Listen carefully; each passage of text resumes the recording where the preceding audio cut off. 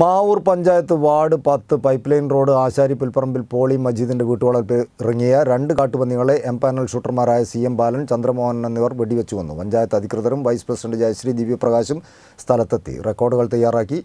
പരിസരവാസികളുടെ സാന്നിധ്യത്തിൽ ജഡ നിയമാനുസരണം സംഭവസ്ഥലത്ത് മറവ് ചെയ്തു. കോഴിക്കോട് ജില്ലയിൽ സി എം ബാലൻ വെടിവെച്ചു കൊല്ലുന്ന നൂറ്റി രണ്ടാമത്തെ പന്നിയാണിത്.